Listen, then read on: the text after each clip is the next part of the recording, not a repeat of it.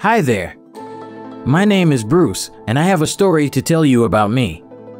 I was left at the pound with my seven littermates by my previous owner. It was a noisy, scary place, and we were all in pretty rough shape. We were not very well taken care of before. We were all underweight, had poor skin, and our bellies were full of worms.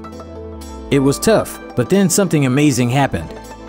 The really nice people at the pound contacted and arranged for Central Arizona Animal Rescue to come to save us. They took us away from that noisy place and brought us to their rescue. They treated us for parasites, gave us baths with medicated shampoo, and made sure we got all the vaccinations we needed. Now we also get all the food we can eat and even snacks. I particularly like cheese. I even got neutered and microchipped, so I'm all set for my new home. I'm just a baby, about three to four months old, and I'm ready to learn all kinds of new tricks. I'm starting from scratch with house training, but I'm a quick learner. I love playing and wrestling with the other pups here at the rescue. I've never met a cat, but I'm young enough to make new friends, even if they're a bit different from me.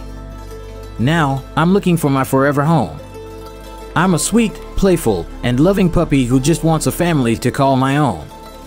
If you're looking for a loyal companion who will fill your days with joy and laughter, I'm the perfect pup for you. Come meet me at Central Arizona Animal Rescue. To set up an appointment to meet me, just email Mike at caaronline.org and ask to meet me, Bruce.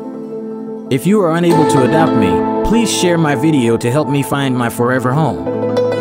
For the other dogs available for adoption or to make a donation to help us, visit www.caaronline.org. Follow us on Facebook, Instagram, and TikTok at www.facebook.com slash Central Arizona Animal Rescue, www.instagram.com slash Central Arizona Animal Rescue, and www.tiktok.com slash at Central Arizona.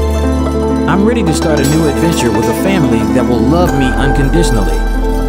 Will you be the one to give me my happily ever after? I can't wait to meet you and become your new best friend.